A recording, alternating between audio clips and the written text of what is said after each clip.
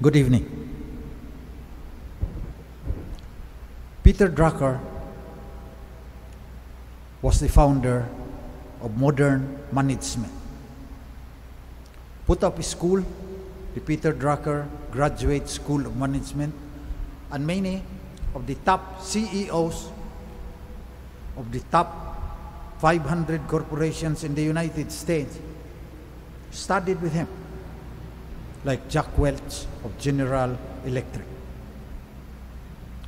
In 2008, I was given a scholarship to study at the Peter Drucker Graduate School of Management, Claremont, California. That's where I learned that mission, vision, goals should be strategy focused. Alam naman natin lahat yan. Katatapos lang namin nag-provincial assembly ng mga SBD sa Philippine Central Province. Yun, you revisit your vision, was ano ang mission mo, was may goals ka, pero kailangan strategy focus. Anong strategy mo? Para results-oriented ka. So may timelines na sinasabi, may key performance indicators. Gawin kaya natin yan dito sa Ebanghelyo ngayon. Kasi, yung sabi ni Jesus, parang inaugural speech niya na naglantad na siya na siya ang Bisaya. Ano ang kanya sinabi? The Spirit of the Lord is upon me because He has anointed me to bring glad tidings to the poor. He has sent to me to proclaim liberty to captives and recovery of sight to the blind, to let the oppressed go free, and to proclaim a year acceptable to the Lord.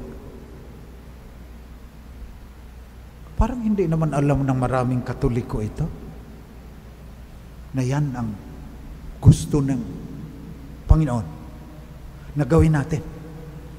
Kasi sa first reading, anong sinabi?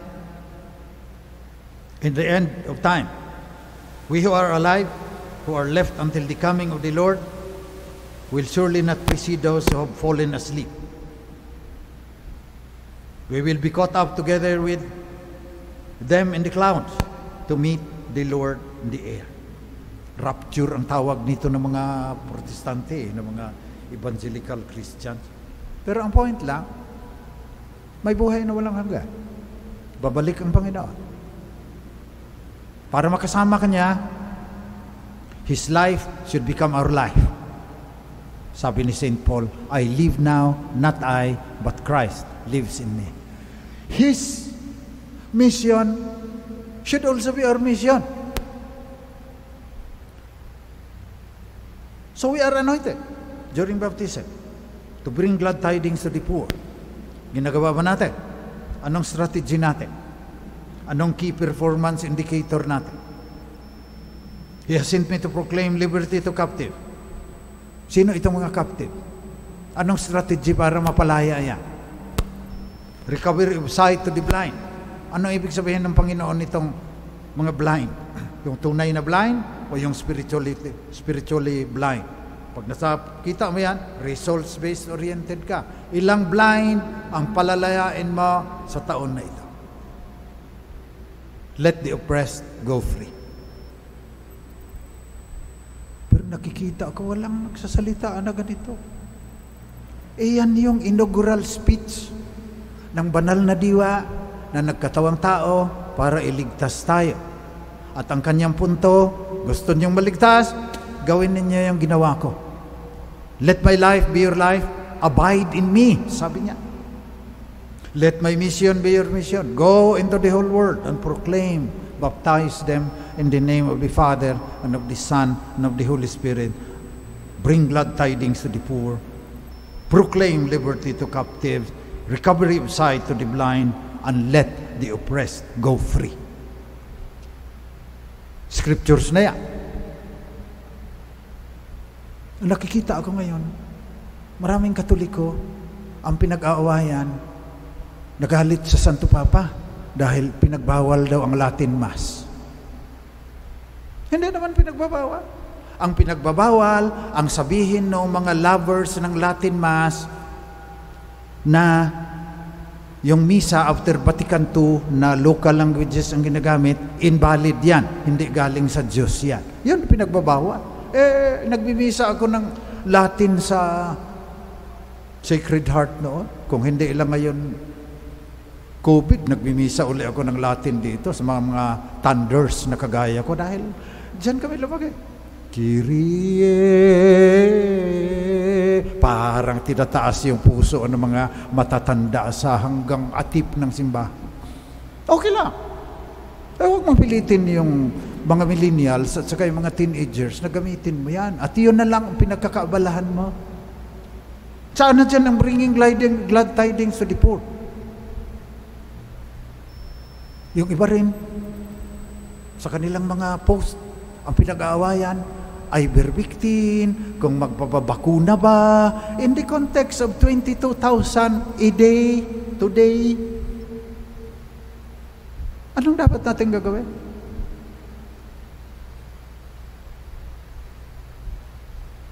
Noong malapit na ang mga revolusyonary sa Russia, sa Moscow, labanan na, naririnig mo na sa malayo-layo yung mga kanyon na nagpuputukan na.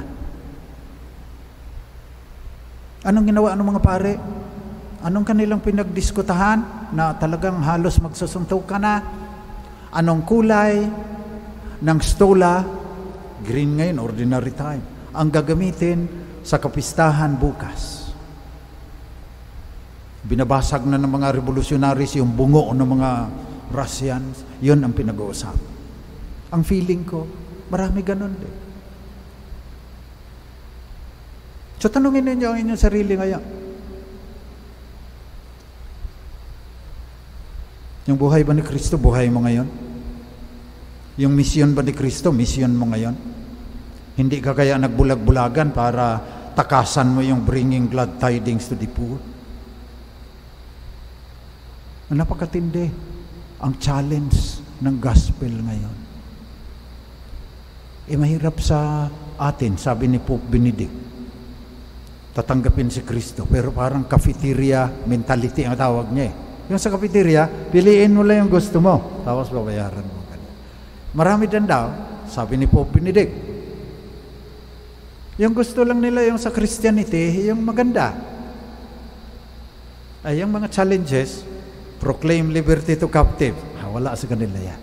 Yun ang ating ipagdasal ngayon. Na sana, maging karapat dapat tayo na magiging disipulo ni Kristo.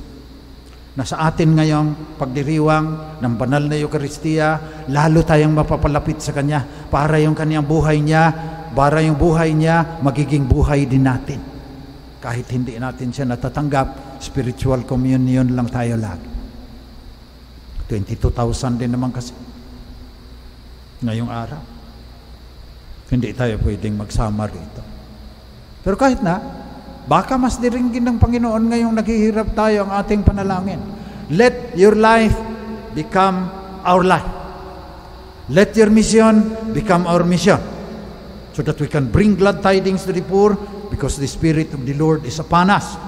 To proclaim liberty to captives, recovery of sight to the blind, and to let the oppressed go free.